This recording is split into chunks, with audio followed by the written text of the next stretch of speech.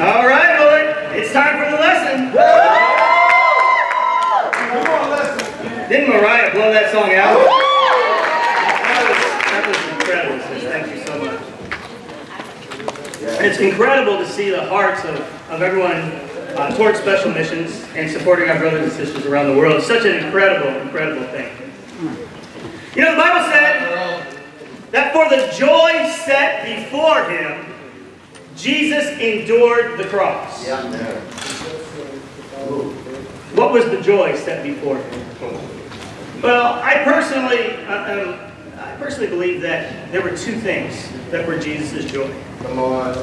I think the first was his dream of his kingdom being built and evangelizing the nation. Come on, man. I think we see that as that was the last thing he taught for 40 days before ascending to heaven. And yet, Jesus is just a little more personal than a dream for everybody. Wow. I also believe that Jesus has a specific dream, and the joy set before him was also you and your life, Yeah, and what he would do through you. Come on. You are more powerful than you could ever know. Come on. You truly are.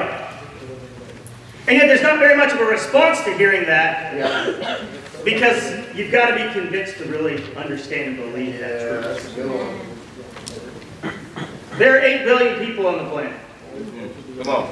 And I want you to consider, you remember when you were in school and they'd break up into teams for kickball or different sports? And you'd have like the, you always have one kid who was like the last one waiting to be picked. Come on. Curvy balls going out. I was always the shortest, most scrawny kid in the class. So my, my day started off like being one of those last kids to be picked. Come on, bro. And I endeavored myself to not be that one, to be the first guy picked. Okay. And uh, it's so funny, you know, the first one to be picked is all fired up. Like, yeah, that's right. Come on, we're gonna get him. Yeah. Yeah, come on. Why? Because he was just convinced of who he was. Yeah. She was just convinced of who she was. Yeah. And, and yet, this morning I want to convince you of who you are. All Come on, bro. Out of 8 billion people on the planet, God chose little old you Come on. to be one of the first to know his truth. Come on. See, then God picked his team, and he said, out of all 8 billion people, who am I going to use to be the foundation of getting my word around the world? That's you this morning. Come on. Now, you can either be encouraged by that, or you can feel a lot of pressure. Amen. Come on, bro. Come on. What an honor. Yeah. What an honor to be called to fish for the souls of other men. Yeah. See, I believe that Jesus believes in you in a way you can't fathom. See, he created you to be a fisher of men. Amen. He created you to be fruitful. That his spirit would emanate from you. Thus drawing others to you. So you can tell them how you got that spirit. Amen. He made you to be able to overcome any and every sin that you might do in your life. Wow. Yeah. Yeah. And not just overcome it, but escape the destruction that comes from this sin. On. He created you to be at peace with all mankind. Come on. Amen. Amen. He created for you the perfect friends that are with you right here now today. Yeah, they're not really perfect. Ask God if they're perfect. Ask God how He views your friend. And He would say, You're the picture of absolute perfection. Because Jesus' Son atoned for every wrongdoing and every flaw.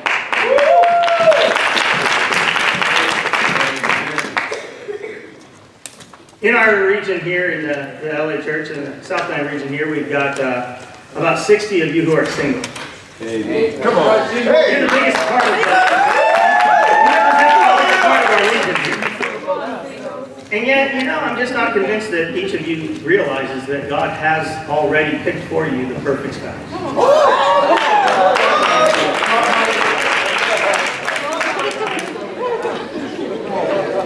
As I survey the region, I see no one with the gift that Paul had to be alone. Nope, I don't. That's okay. And yet, You didn't remember I yet. some of you really lack faith that God has the perfect person there for you. Come on, bro, talk about it. But it's Jesus' dream, so it's the best life ever. So of course he's got the perfect spouse. Come on. Come on. Give me a Deborah. The other aspect of his dream for you is that you would fulfill your role in his kingdom. Come. See, this isn't like the little kickball team where you where you ride the bench all the time because you're the last one picked. You have a role, and he's prepared you for it your entire life. Come on. Today, I hope you grasp how special you are, Come on, bro. And how special our church is. Yeah. It's great to be back in DC. Oh, yeah. You know, God always picks the times and places, and uh, Tracy had not seen the Martin Luther King Memorial. So I took her to go see it, and uh, we took pictures by it, and, and then uh, we got done, and that was great. It was awesome. It was inspired. And uh, there's, there's just these walls that have sayings of his all throughout his lifetime, what they consider to be the most impacting quotes. And I said, well, let's go take some pictures in front of the White House. Tracy's like, man. I'm sure you really want, I'm tired. Will you please do it for me? All right. and then, of course, you can't find parking by the White House. And, uh, and so uh, I said, all right, well, let's, uh, let, let's just go into one of the parking structures. It- It'll cost a little bit, but, you know, amen, let's get this special time together. So we did that, and we went, we, you know, we uh, got our picture, took our selfie in front of the White House.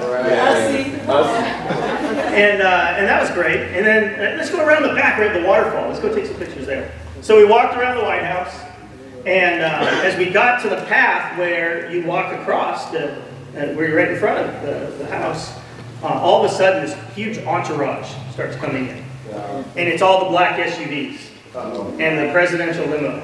And, and then the ambulance goes through. At first I was like, something happened to Trump? Somebody shoot that man already? That's crazy. And, I mean, I don't want that to happen anyway. But, um, but then the Secret Service agents came out and uh, they're telling people to get back. So this is the path that you're supposed to walk down, and they're telling everybody to get off the path. And so they herd us all down, and we had to walk around and then almost to the Washington Monument before they let us get back in the grass. Uh, and, and then we heard it's because he had just landed at Andrews Air Force Base and was and the helicopter was going to bring him in. Now, how many times can you go to the White House and be right there when the presidential helicopter, when Marine One comes in? Whoa. And so, uh, and so we waited, and we got to see that that they're closing all the streets in the city around us, Wow, that's crazy. and we couldn't leave if we wanted to. you know? Yeah. And so, and then the helicopters come, and his helicopters keep circling. Come on. And you can see the camera out of the side of the helicopter filming everybody. You know, they're doing the facial recognition, making sure everybody's safe. And, uh, and, and then like, the whole place is just shut down. Wow. And everybody's just waiting. And then all of a sudden you hear. And he, and he came and he flew like right next to the Washington Monument. It was just awesome. Mm. And he flew right over our head. And then we as we watched, we're like, man, this is so cool. And then it just kept flying. Is the, is, is the decoy.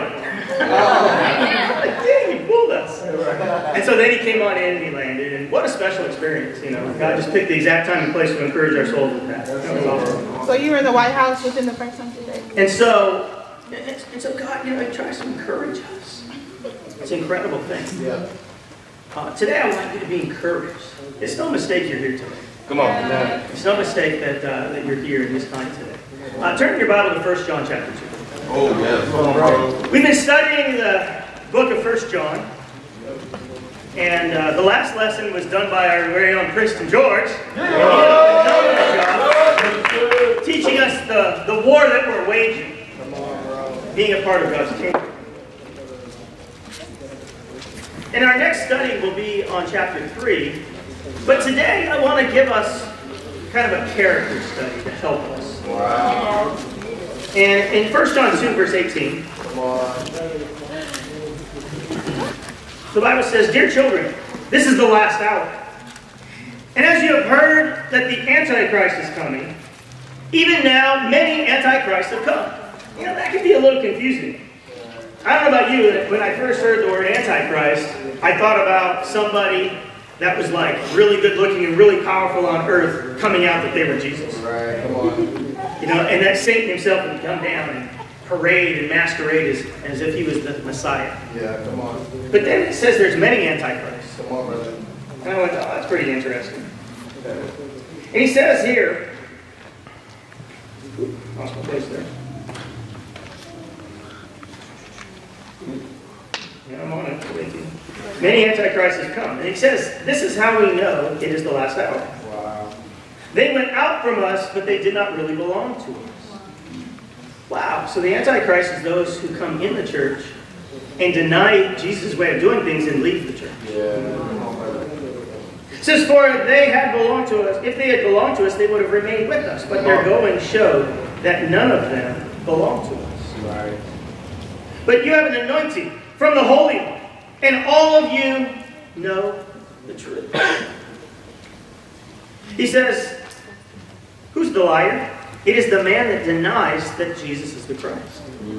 Such a man is the Antichrist. So any man can be the Antichrist.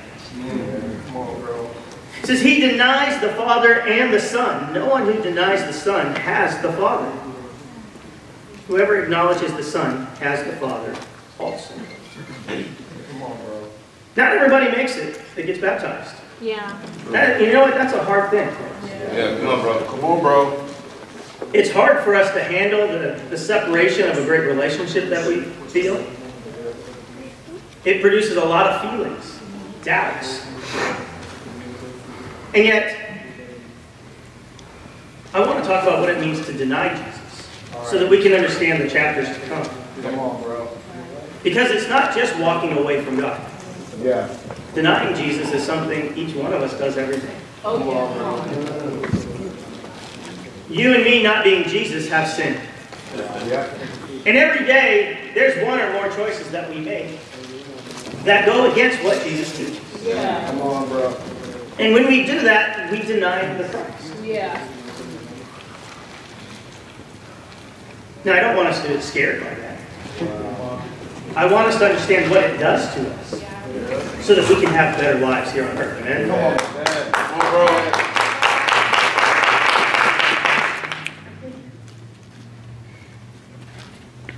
The difference between pride and humility.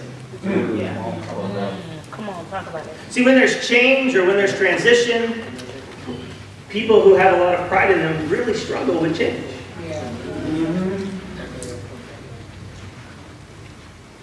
It takes pride to deny Jesus' way of doing so. Oh, come on. Consider those you know who have walked away. Has life gotten any better for any of them? Sometimes they send angry texts about how they were hurt. Yep. Most all go back to not just their old sins, but worse. Yeah. Yeah. Come on, bro. Come on, talk about it. And yet I want to ask you a question this morning. Can anyone lead you? Can anyone lead you spiritually? See, the Bible says that all believers are competent to instruct each other. Yep. Yep. The Bible also says for there to not be favoritism. I want to guard us from becoming a church of favoritism. Come on, bro. Come on, bro. Come on, bro.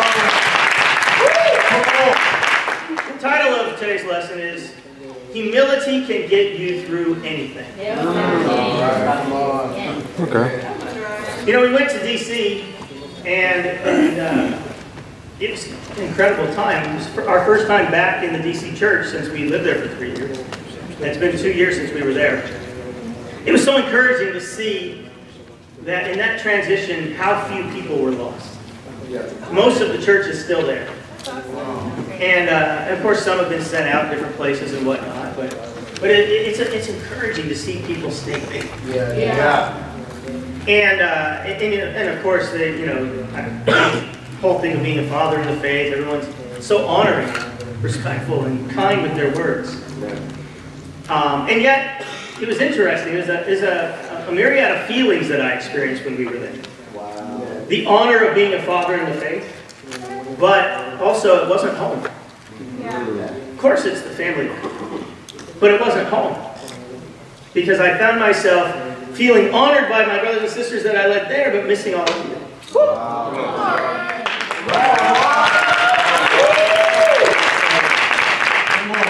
This is home. Yeah. This is where God put me. Yeah. And it's so great to, to feel that and embrace that. Come on, bro. Come Um. I want us to learn from Jesus today. Come on. Turn to Matthew chapter 11. In order to have the power to, deny, to not deny Jesus and his way of doing things, I believe we have to learn about pride and humility. The world speaks of humility as a bad thing. And, and you know, one thing that I've learned being here in the Southland region, I, as I get to know each of you and we trade stories and share what God's done in our lives and our, and our past, most of you have endured some of the most horrific things I've ever heard. Just terrible. And yet you're here, fighting Yeah.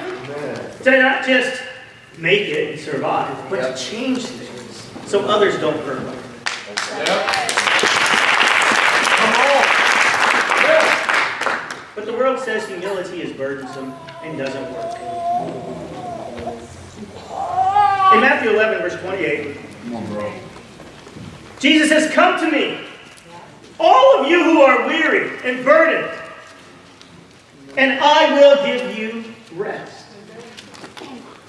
Take my yoke upon you and learn from me. For I am gentle and humble in heart. And you will find rest for your souls.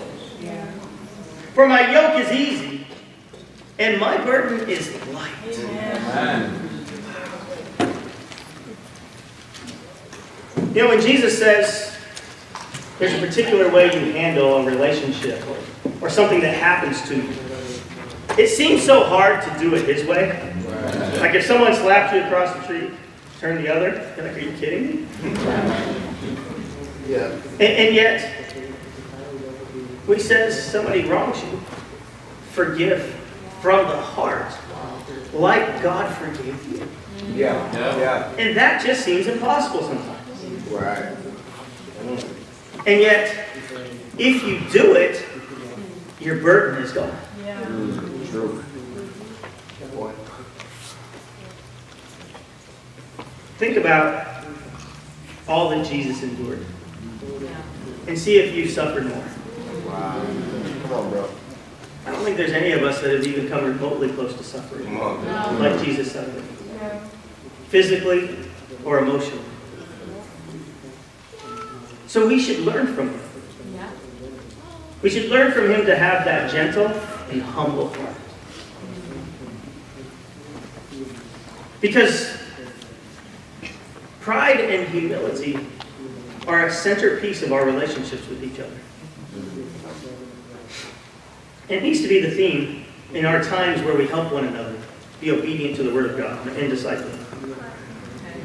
Uh, turn to Philippians chapter 2. Come on, bro. Come on, bro.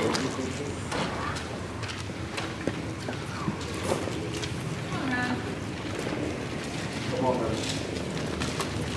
As we read the scripture, I'd like you to really consider Am I living this out? Not do I just uh, read, have I read it before, or do I understand it? But is this who I am becoming more like day after day? Now we're going to read Philippians 2, verses 2 through 11. I'm going to read from the message version because I believe it captures the heart in a profoundly powerful way.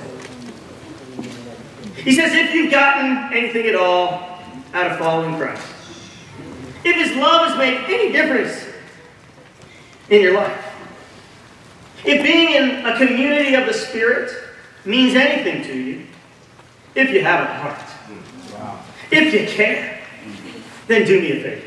Please. Agree with each other. Love each other. Be deep spirited friends. Don't push your way to the front or sweet talk your way to the top. Put yourself aside and help others get ahead. Don't be obsessed with getting your own advantage. Forget yourself long enough to lend a helping hand. Think of yourself the way that Christ Jesus thought of himself. He had equal status with God, but didn't think so much of himself that he came that he had to cling to the advantages of that status, no matter what. Not at all. Hmm. When the time came, he set aside the privileges of deity and took on the status of a slave. He became human. Having become human, he stayed human. It was an incredibly humbling process. He didn't claim special privileges. Instead, he lived a selfless, obedient life and then died a selfless, obedient death. The worst kind of death of that, a crucifixion. Because of that obedience, God lifted him high and honored him far beyond anyone or anything ever. So that all created beings in heaven and on earth, even those long ago dead and buried, will bow in worship before him Wow. And call out in praise that he is the master of all to the glorious honor of God the Father. What a powerful What a life altering passage if we put this into practice. You know what I'm saying? Amen. See, humility cannot just be something that you have or add to your life. It must become who you. Come on. See, we don't do it because we think of humility as being less powerful. All these atrocious things that you've endured in your lifetime have told you don't be humble. Come on, bro. Yeah, yeah. If you're humble, they're going to take advantage of you. They're going to get me again. Well, I want you to just consider this. The most powerful man to ever walk the planet was also the most impacting man because he completed his power with humility. Sure did. Come on. Come on, bro. I mean, you got Jesus himself telling you, learn from me today. Mm, right? Come on. I mean, look around the room here. We are so blessed. Yeah, We're so blessed to be in each other's presence. yeah. And yet, each person you looked at is a sinner and has sinned and eventually will hurt you. Yeah.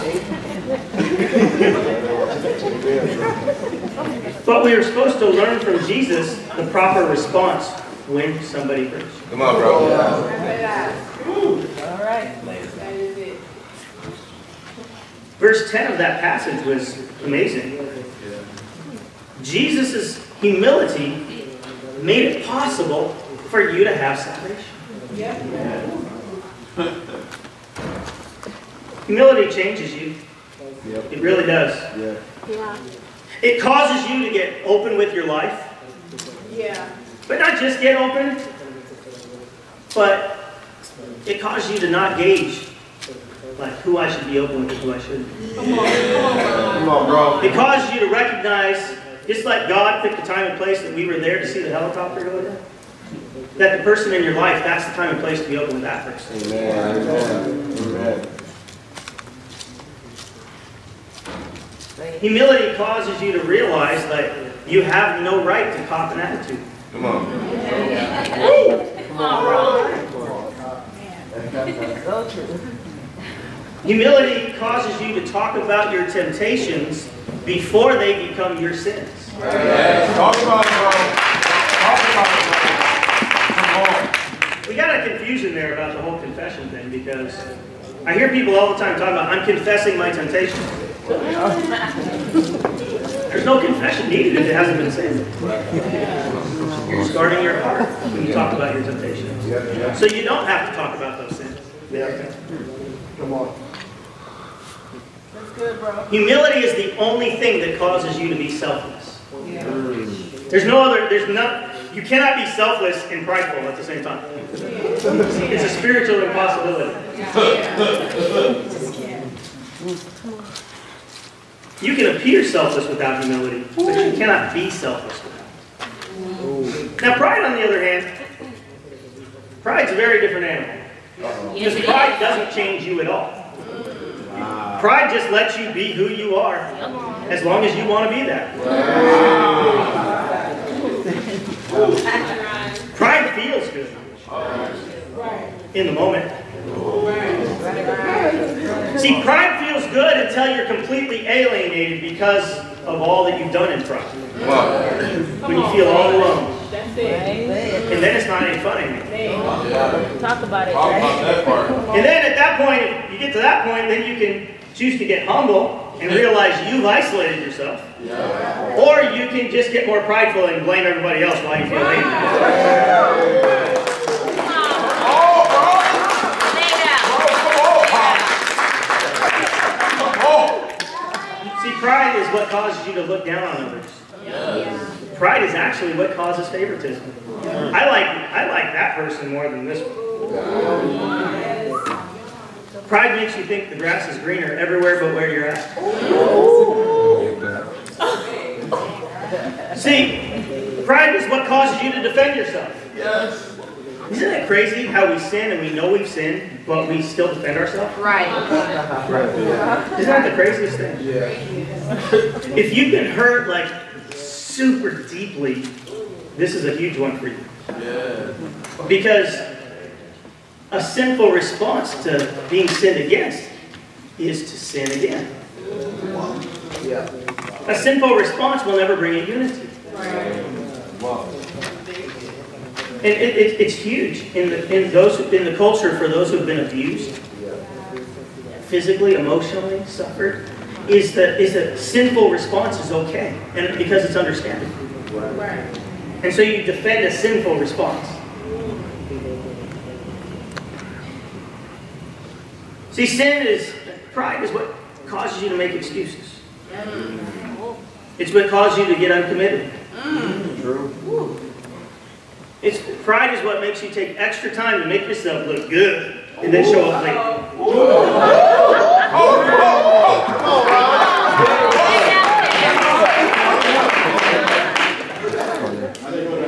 It's the thing that lets us dishonor God and with not singing with all of our heart, Come on, Ron. Come or to on. not give to Him what we should, Yeah. and feel like we're great. Yeah. Yeah. Come on, bro. Pride is what lets us walk through the door and bring all of us and all of our problems with us, Yeah. and not honor God's house. Yeah. Come on. See, pride's what makes you sit there when somebody's giving an example and you go, oh, I know he's going to talk about me. You didn't say my name.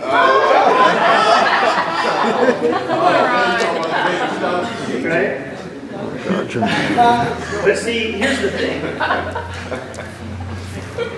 Pride slowly but surely transforms your heart and your mind and soul to operate like Satan, not like Jesus. Yeah, that's true.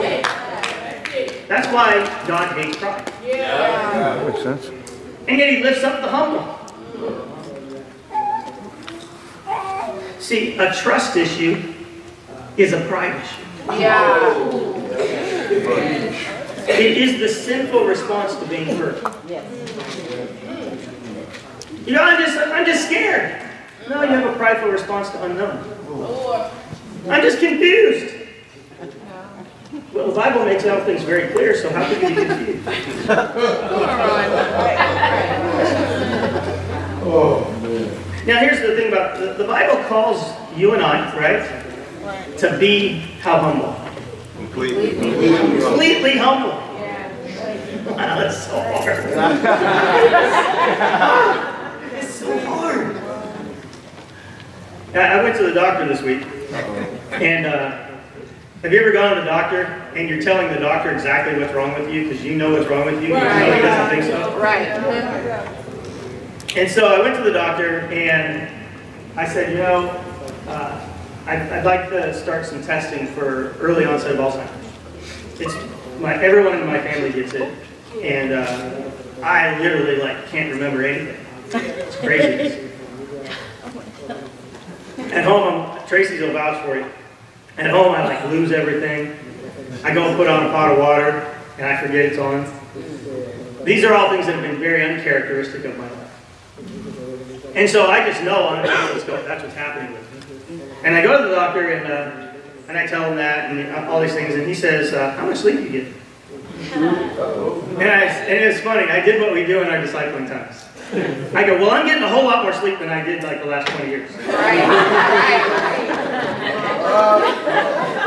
And, and- and being a great discipler, my doctor said, "That's not what I asked you."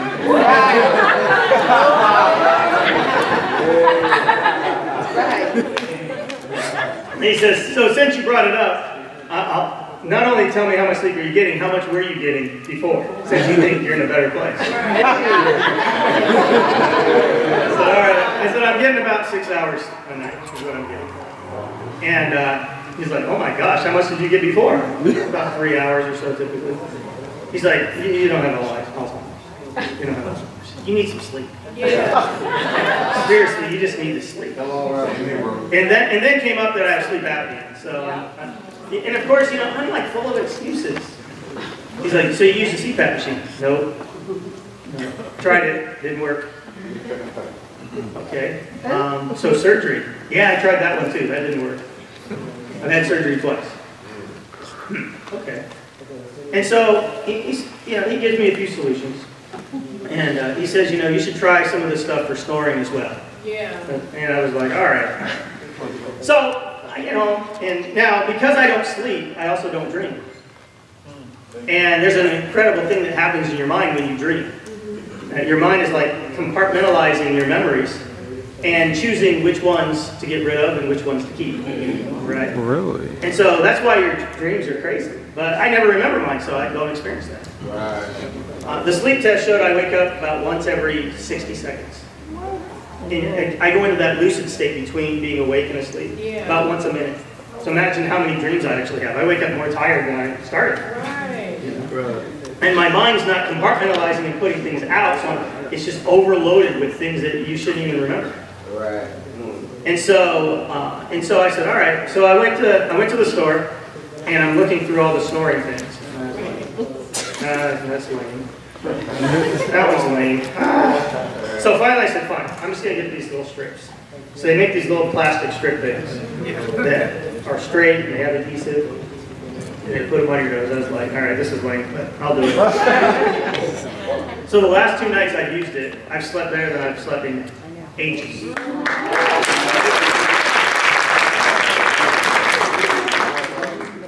And yet, the last two nights I had dreams, and I remember what they are. And I wake up rested. And I was like,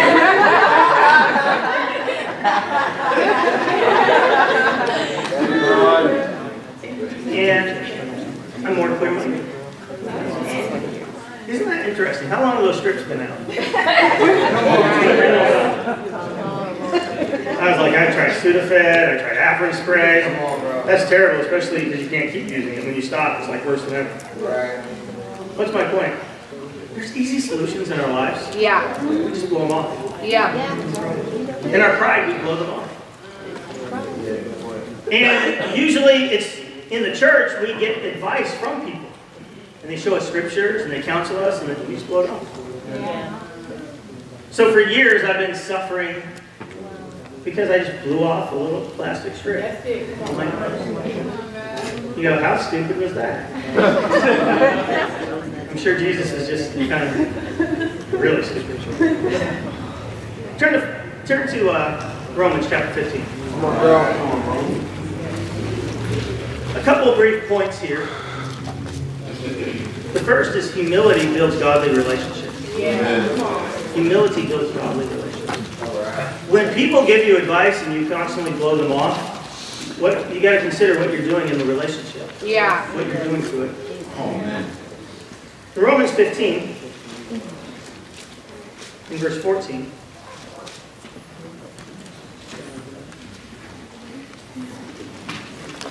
Come on. I'll get there. Romans 15 and verse 14. I myself am convinced, my brothers, that you yourselves are full of goodness, complete in knowledge, and competent to instruct one another. Come. Can anyone lead you? Yep. Right here, we, we have the qualification of what it takes to lead you. be baptized, have the Holy Spirit living inside you, and be willing to show you the truth. That's it. But we play favoritism. I want an older Christian. Oh, I don't trust the younger Christian. I want the older Christian. come on. Uh-oh. The biggest one comes in the marriage group. I want somebody who has had kids and knows what it's like to raise kids, or else they can't really help. Uh-oh. So now, then you gotta go, where did that come from? Where in the Bible did that come from? Come on, bro. Right? I haven't found it yet. Yeah. I've been reading for 24 years and I haven't found it. What I have found is Timothy was one of the greatest leaders in the New Testament, Right. and he didn't have any kids, Yeah. and he was young. That's why, had, that's why in 2 Timothy at the end, Paul had to really help him because the older people kept beating him up the whole time and wouldn't respect him. Oh, come on. See, the, see, understanding, and and then there's where, that's where the favoritism comes. Right? I mean, most of the guys that we read about didn't have kids. Come on. The apostles were teenagers. Like, can you imagine the teenagers started the church Wow. and ran the church and evangelized the world in their church?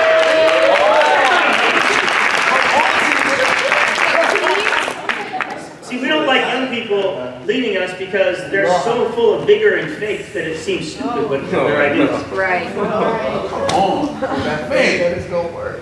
And you know what finally hit me? I was like,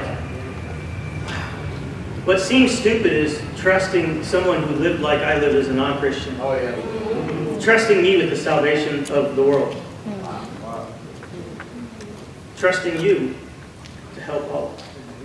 Like if somebody watched your life as a non-Christian, they say, trust that guy to change the world. Yet Jesus did. Come on, Preston. So if Jesus chose you, then I choose you. Yeah. Come on.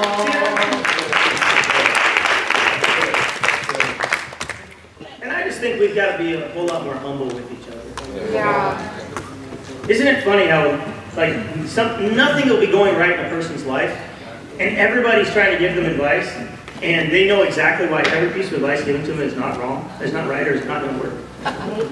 It's pride. Come on, Ron. Where do we get that from? We get it from the world.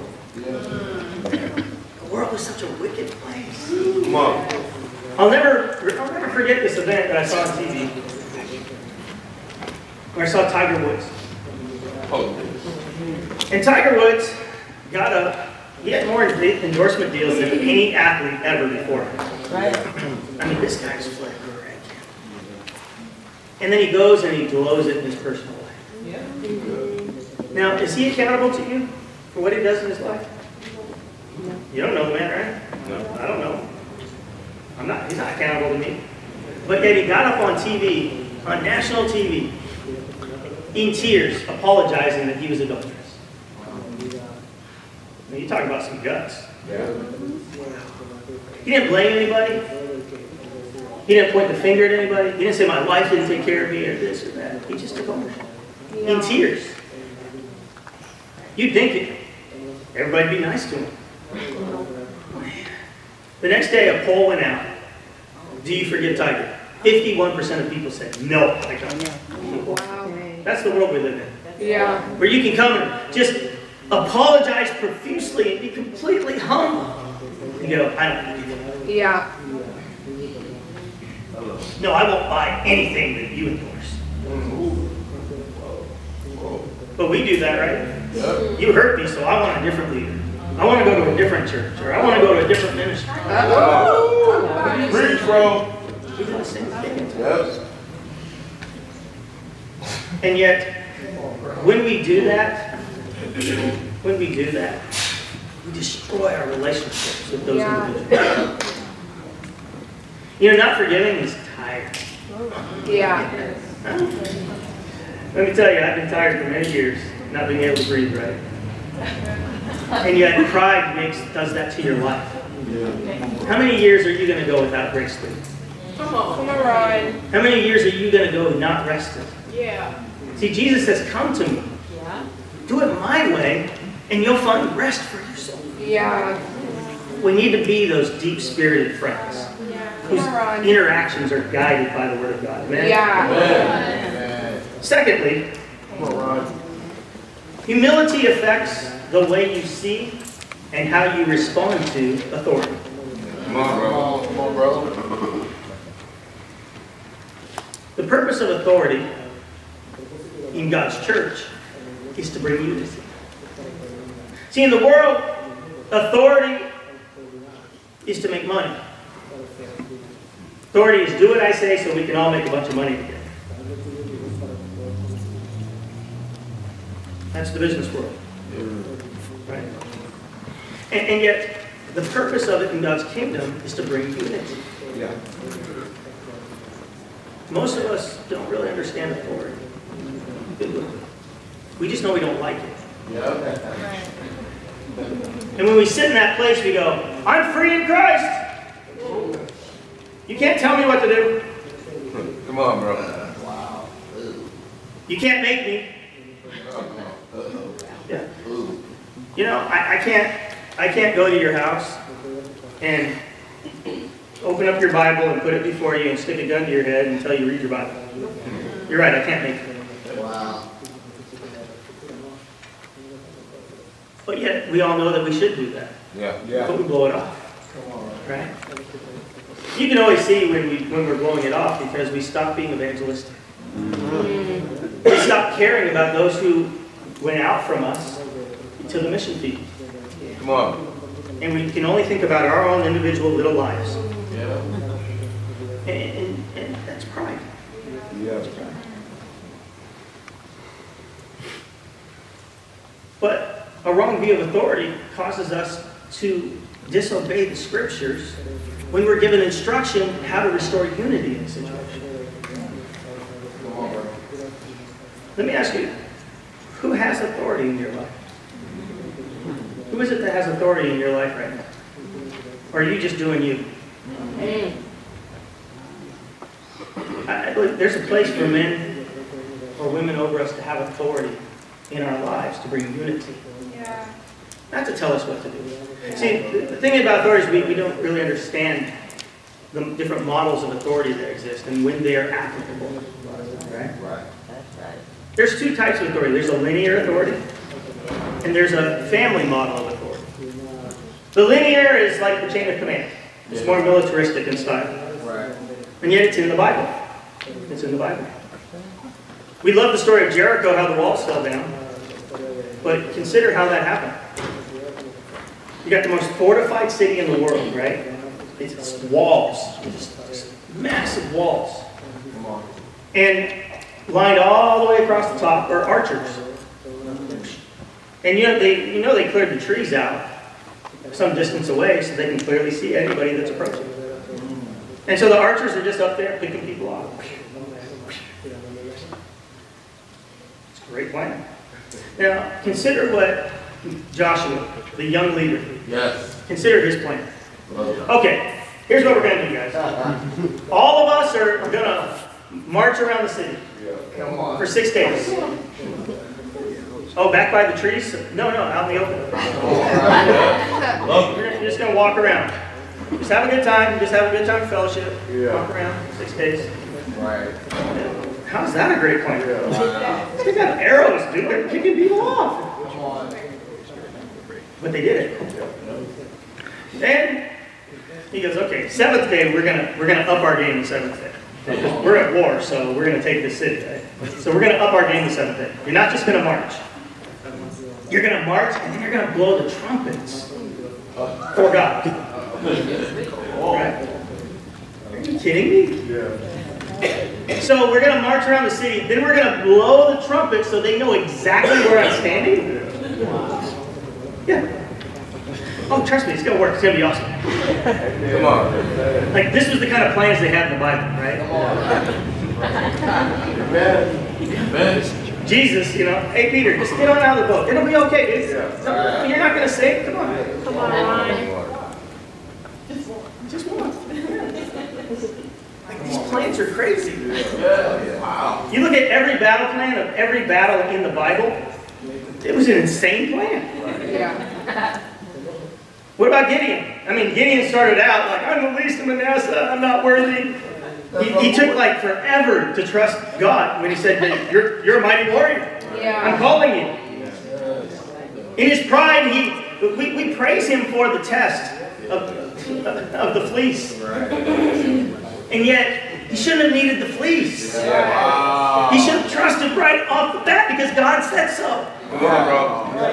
In his pride, he put out the fleece. Now, thank God the fleece let him get rid of his pride. But then consider his battle. He's got 10,000 men.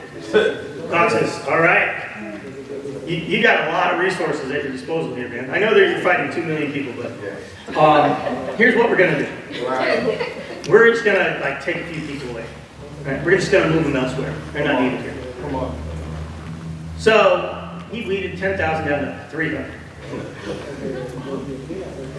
What? Great plan. Sometimes we have people move in and out of our lives and we're like, oh, great plan. Now our Bible talk sucks. Oh. You we act like somebody's taking something from us. No, God's trying to provide an opportunity for you to see a miracle happen. Yeah, come on. You just keep fighting.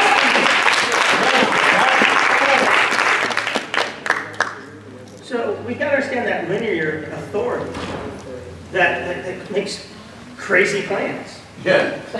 We also have to understand the family authority. Yeah. So all of us kind of lend toward one or the other, either the more militaristic style. Like we all we all know Jermaine does that style, right? Yes, He loves that style. But then but then, then there's also the family-oriented style. Come on, Rico, come on. The father, mother, big brother, big sister style. See, everyone understands the husband, the dad, has final authority in the house, right? Amen. Now, God forbid a man just just bark orders all the time Amen. and be a militaristic husband. Bad choice. Yeah. Yeah. And yet, here's what happens. Okay, so when when dad leaves, all of his authority goes, then who has authority? Mom. See, even when dad's there, mom has authority. Yeah. But when he leaves, mom has all authority. Right? I'll never forget the first time I ever said no to my mom. It was also the last. Come on, Dad. This is, you know, you have those memories that are just so vivid in your mind. Right. And so I was five years old. One of the only things I can remember from being five years old, right? Come on, And I was, I'm at the stove, right? And I'm standing on my, on my stool, and I'm cooking French toast. Right? And you know how when you do something for somebody, you feel a little entitled? So I'm cooking French toast for me and my mom. And I'm up there cooking, and she says, take the trash out. And I was like, Right. that just blew her off. And then you know that voice, right? Uh-huh. Ronnie, I said take the trash out. And I turned and I said, I'm cooking French toast. No. And then, and then the movie turned totally slow motion.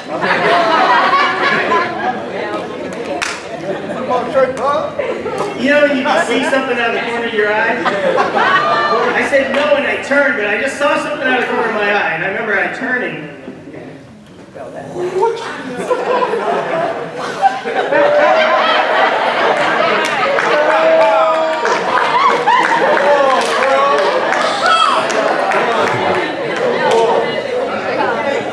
I mean, my favorite superhero was Superman, but I didn't want to have that be the way I flew. You know?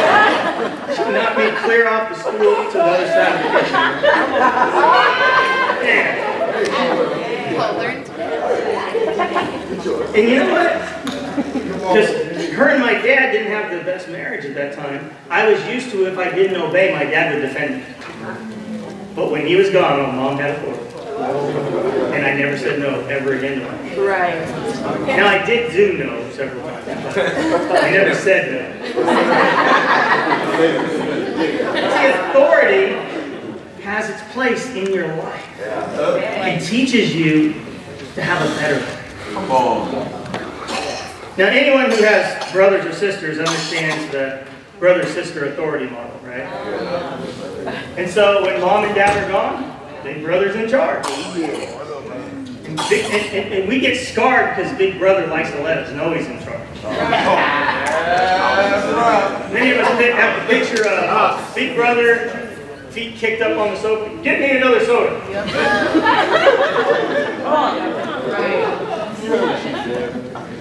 But yet, in our church, you have father figures, mother figures. You have big brothers and big sisters. I think the thing that's most disrespected is the big brother in the church. Yeah. Far too many of us blow off big brother or big sister when they're trying to give us advice. Because we play favoritism and we just we want to hear it straight from the, the big leader. ourselves. Yeah. And Guess what? Big leader's a sinner too. Yeah. And if, and if Big Brother has a scripture and it's, and it's the truth, then you're not disobeying your big brother, you're disobeying God. Yeah. Blow off. Turn to Mark chapter 10. Come on, bro. Come on, bro.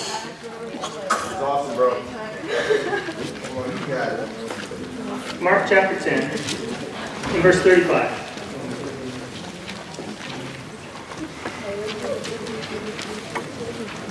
Consider how incredible your relationships will be when you have more humility in them. Wow. Wow. Many of us are very humble already, to the people that are in our lives. But we're not Jesus. In Mark chapter 10, verse 35, I love this interaction with the apostles. It says, Then James and John, the sons of Zebedee, came to him, meaning Jesus. Teacher, they said, we want you to do for us whatever we ask. You know, when you lead a church or something, you have people approach you all the time in the same way. I want you to change the church's plans. You know what I mean? We have that kind of stuff all the time. And sometimes it's needed. Like many of you have said, we want to be together on these things. So that's why we made that decision. We see the need. Jesus says, What do you want me to do for you? They replied, ah, Nothing big. Just let one of us sit on your right and on your left. Yeah. Now, this is funny. He said, he says, let one of us sit on your right and the other on the left in your glory. You know it's funny, young guys, I'm not talking for them. So, there's nothing wrong with being ambitious. Nothing wrong with having zeal. Nothing wrong with having a dream of leading a church or being an evangelist or, or whatnot, but, um, but you can't handle glory. Right? Here's the thing, like, all glory is to go to God. All glory is to go to God. Come on, bro. So stay ambitious, just don't want the glory because you can't handle it. You can't handle glory. You're not, it- it's, it's that thing that is too powerful for you to handle. You become too authoritative, too authoritarian Yeah, yeah. if you get glory. The glory will destroy you if you get it. That's why only God should have glory. Amen. Well,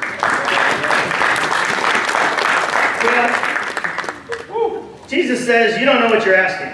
Sure don't. Right. Sure don't. Can you drink the cup I drink or be baptized with the baptism I am baptized with? And I imagine it was a very quick answer. Oh, yes, we can. Right. Could they? No. Ah, they could and they did. They could and they did. Were they ready in that moment? No. Not at all. In that moment, they were not. But they did.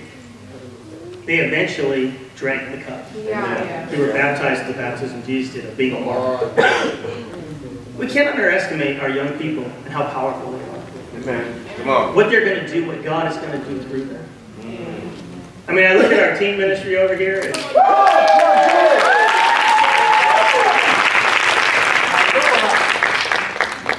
Better raise up fast because we're getting old.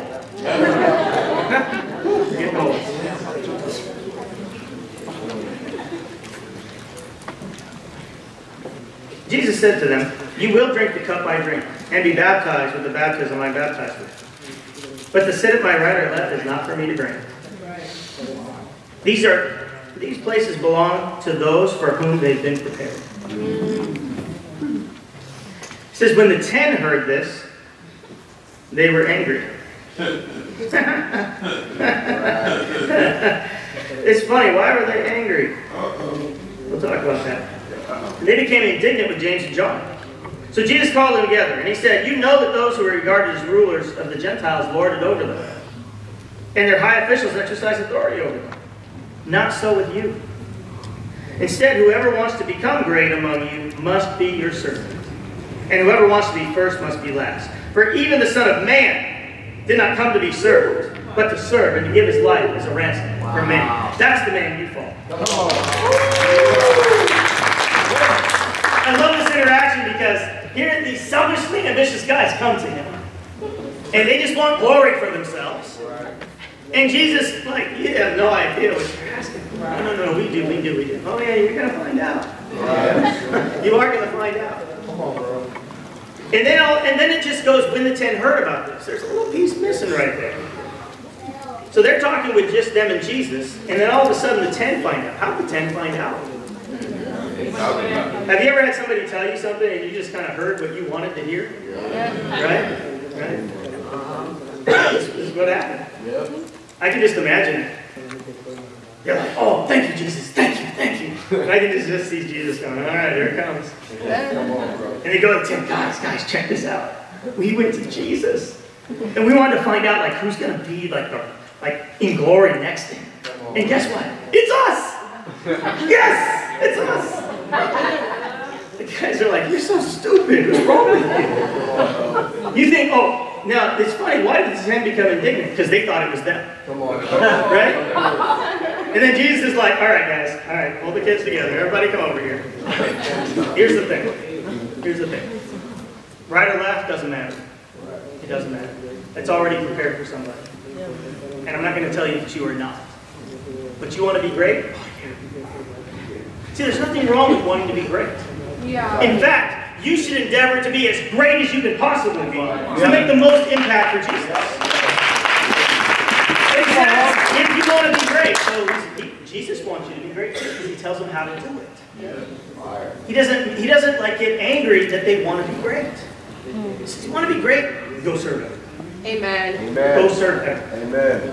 That's how you become great." You know, it takes humility That's great. To become great. Lastly, after you remember that humility affects the way you see authority, the way you respond to it, lastly, you've got to humble yourself before God does it for you. Wow. Come on, Wow. In Philippians 2, the Bible says that Jesus humbled himself. Hebrews 5 says Jesus humbled himself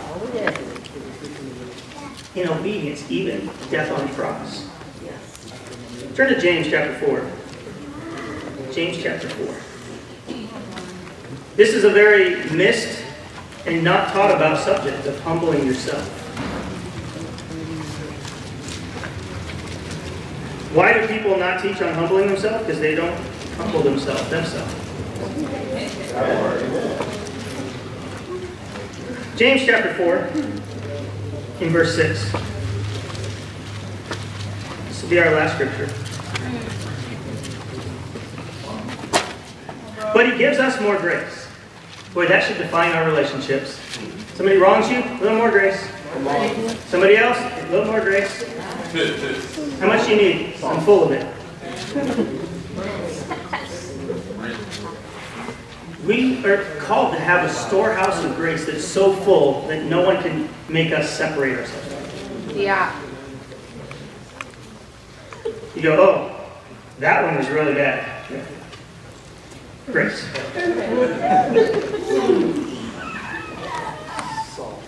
Why? Because they deserve it? Or because they've changed? No, because God does it to you every day. Yeah. That's why. This is why Scripture says, God opposes the proud and gives grace to the humble. When you have pride, God, God just like puts a halt on the grace happening for your life. Yeah. He just halts it, holds you up. All doors kind of seem shut when you have pride. But those that are humble, He gives more grace. Okay.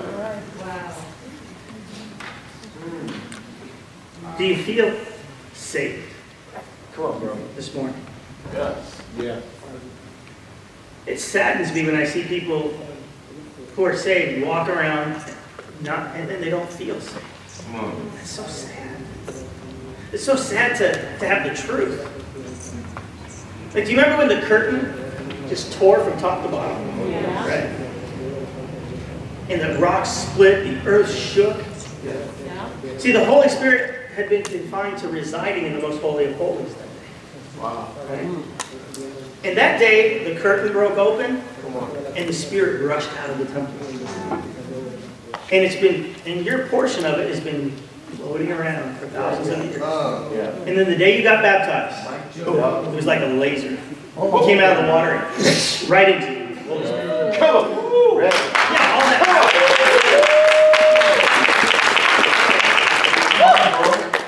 He says in verse 7, Submit yourselves then to God. Resist the devil, and he will flee from you. Come near to God, and he will come near to you. Wash your hands, you sinners, and purify your hearts, you double minded. Man, we doubt so much that God's way is going to work. 1 Corinthians 6 talks about lawsuits among the believers. He says, Why not rather be wronged? You can be wronged and not be hurt. Yeah. You just got to believe that this morning. Yeah. Come on, bro. You have, the, you have the armor of God on. Yeah. Come on, bro. I mean, if you're walking and you have the armor of God on, you have the Holy Spirit living inside you behind that armor, Yep. and, and you resign to, your thoughts are that you can have the armor on, have the Holy Spirit, and somebody can still hurt you. There's something wrong with that. Yeah. It's time to shed ourselves of all this hurt. Shed ourselves of all that's happened in our past. And let the spirit that's inside us well up and fight. So that God will guide us in the right way. Come on.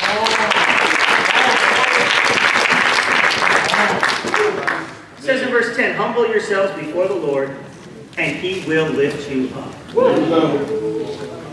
Brothers, do not slander anyone. Yes. Come on, bro. Anyone who speaks against his brother or judges him speaks against the law and judges it.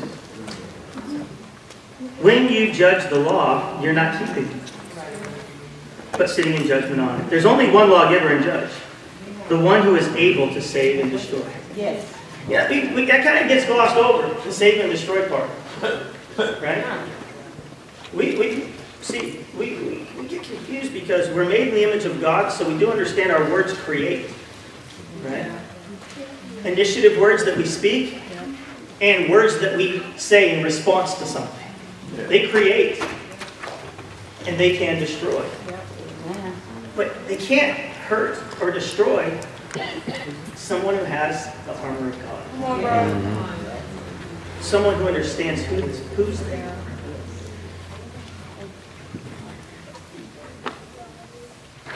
You gotta grasp the subtlety of this scripture. The subtlety of the scriptures is if you wait for God to humble you, then you're not going to get lifted up. It's just a hard road. Come on, bro. Amen. God has given us, and God has given you great victories in your life already. Yep. I think it's incumbent upon us to honor that. Amen. To not think you're powerful is to deny Jesus himself. Come on. Today we need to get close to one another. We've got to get the right perspective on the story. We've got to get be deep-spirited friends. Yeah. Let's humble ourselves so God doesn't have to do it for us. Come on, bro. Remember this morning, humility can and will get you through heaven. I love you guys. Let's stand on up for one final song. Come on,